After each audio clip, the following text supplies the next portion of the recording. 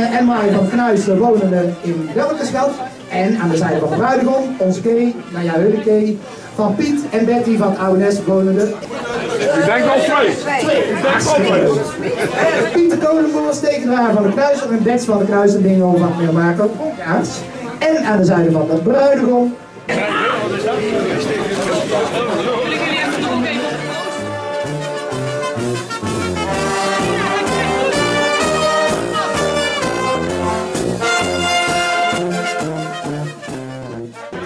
Mooi om hier aanwezig te zijn op jullie boerenbruiloft. En we hebben natuurlijk een cadeautje voor jullie meegebracht. Uh, adjudanten, waar zit erin? Stel eens even.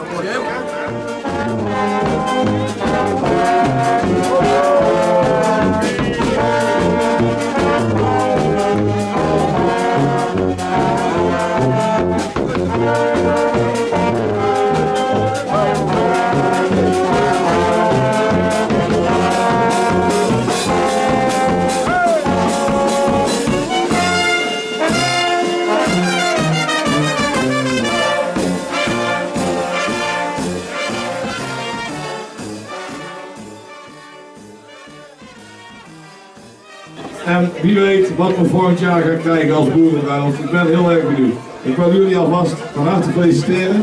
Carina.